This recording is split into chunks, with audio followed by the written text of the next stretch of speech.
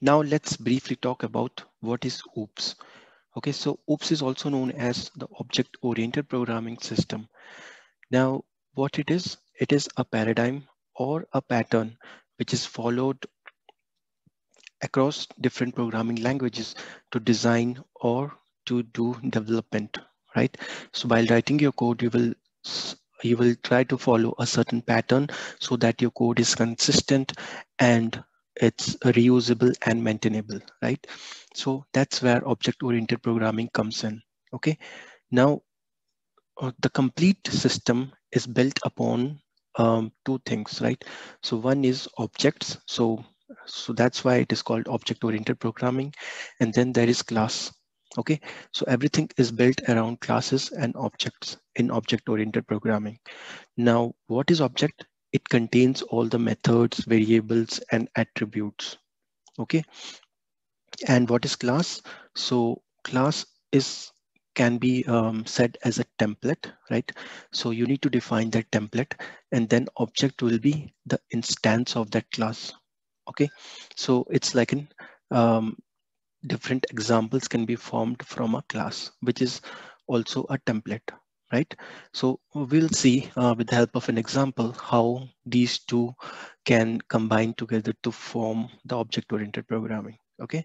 So before that um, just let me uh, tell you some basic concepts which are there in oops right? So there are four basic concepts which form the pillar of this object oriented programming right?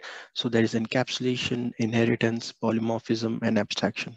Now we'll be looking at each of this um, separately in the later videos now, what are the advantages? As I said, you can easily maintain your programs, right, or code. You can easily modify the code and you can easily debug the code, right? So it helps in all aspects of your programming. So that's how uh, it's advantageous to use object-oriented programming in the programming languages, okay?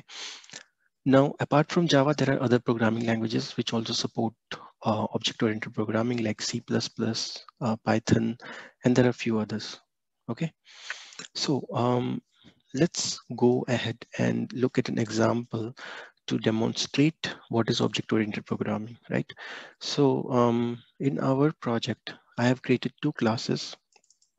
So one is um, our class, right, which is called car.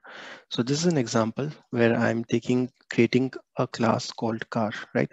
So it will act as a template from which we can then develop different car designs, right? So different companies can come here and they can use this uh, class as a template to have to create their own objects. So that's the whole idea, okay? So what this uh, class contains, so we have different attributes, as you can see, right? So we have uh, color, we have size of the car, capacity, weight, mileage, right? So these are different attributes. Now we can also have some methods here, right?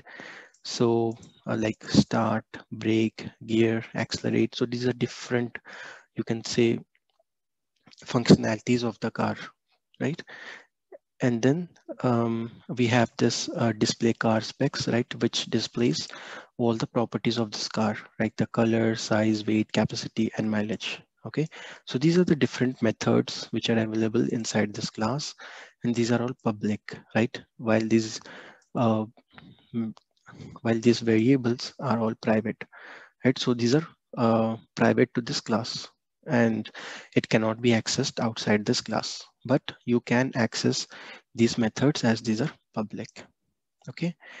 Now coming down, uh, we also have something called set set methods for all our variables, right? So this is where you set all the different values for all these variables, right? So uh, we can set the color, we can set the size, capacity, weight, mileage. So we have written some set methods here, right? So that is what you call getters and setters in Java, right? So in order to get or set a variable, right? So these methods will help you to set set all the different values for different properties or variables, okay? So um, that's our class, car class, which will act as a template. And then we have I've created another class called Hyundai, right? So this is where another company called Hyundai will try to de develop their own model based on the template, right? So this will form as an object here. Okay, so what is an object? So this is the object of the car, right? So we are creating Hyundai, a car. So this is the, um, this is this is our uh, original class, right? And then we are creating an object of that class and we are giving it a new instance of this particular class, right? So this will be the object which will contains the new object of this particular class.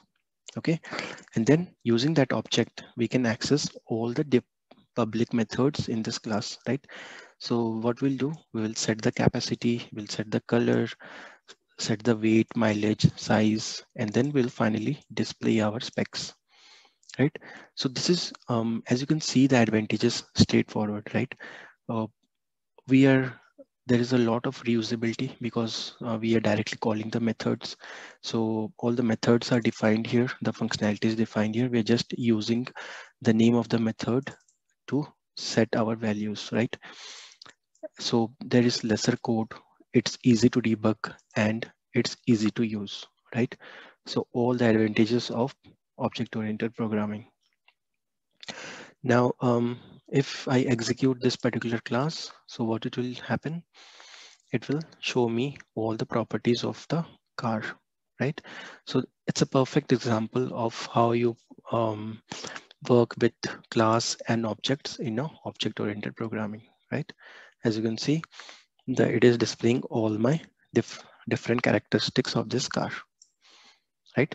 So this is a simple example. Uh, similarly, you can think uh, whenever you are programming in any of the languages, you can think about uh, these objects and classes, how you want to design your whole code, right? So that it can be more maintainable uh, and easier to develop and easier to debug, right? So you have to think of all these aspects whenever you are coding in any of the languages okay so um, in the coming up videos we'll see uh, what are the different concepts um, in detail